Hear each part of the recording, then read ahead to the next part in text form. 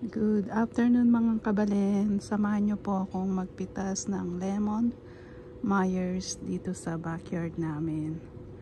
Ito po yung tree namin at napakaraming bunga.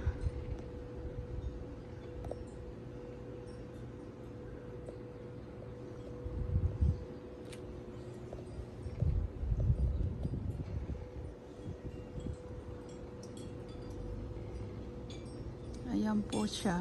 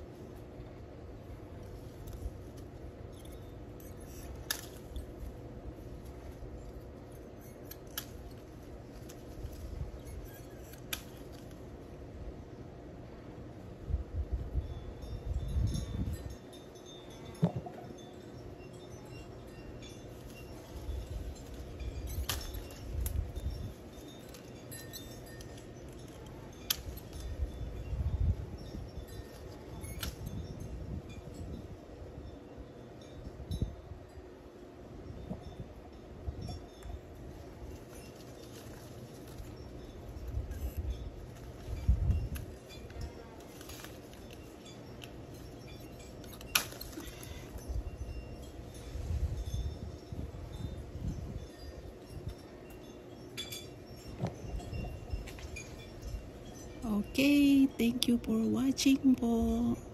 Bye-bye. Please like, comment, share, and subscribe.